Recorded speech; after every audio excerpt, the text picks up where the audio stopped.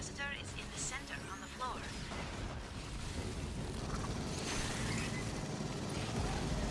Patching up.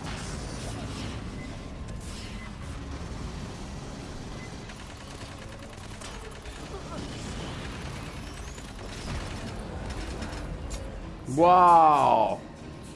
Whoa, what the fuck?